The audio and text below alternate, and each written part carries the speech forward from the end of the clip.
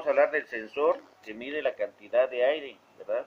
Entonces explicaba que normalmente aparecen las iniciales, eh, por ejemplo, acá aparece más Airflow Medidor. Entonces ya quitando eh, las primeras letras, eh, tenemos la inicial MAP, ¿verdad? Eso significa MAP. Entonces tenemos un medidor de aire que se llama MAP.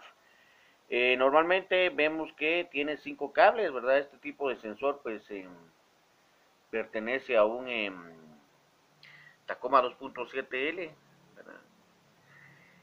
de la modelo 95 a 97 Toyota. Entonces, en Vemos que tiene cinco cables, cada cable pues tiene un color, white, red, a esto se le llama código de colores, el white, red, el yellow, green, el brown, black, el brown, eh, white y el green, red.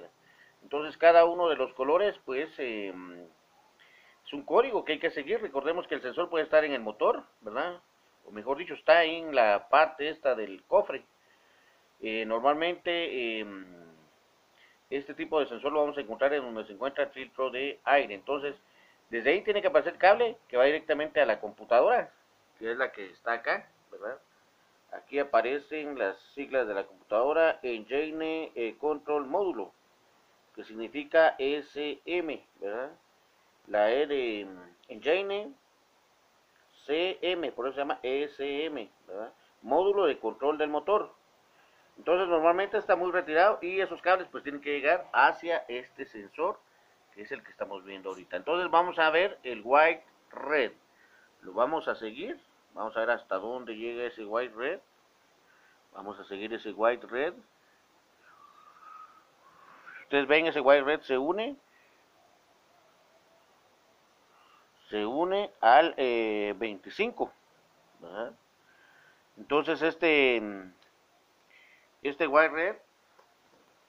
llega hasta este pin. Ahora veamos, em, por ejemplo, este em, yellow eh, green, este amarillo verde. Vemos, vamos a la a lo que es la computadora. Ahí vemos el mismo cable, ¿verdad? Si ustedes se dan cuenta, digamos que ya estamos en la computadora, ya estamos adentro del, de la cabina del vehículo, ¿verdad? El habitáculo. Entonces ahí tenemos que identificar la computadora. Normalmente la computadora va a ir en el, en el centro de la consola, ¿verdad? En otros términos más comunes, abajito del radio, pero en estos modelos pues va normalmente en la parte de abajo donde se ponen los pies, cerca de los pedales de control. Del lado izquierdo del piloto, ahí vamos a encontrar esta computadora. Pero también eh, puede ser que se encuentre en el otro lado, en el lado derecho también. Entonces vemos que dice THA, significa que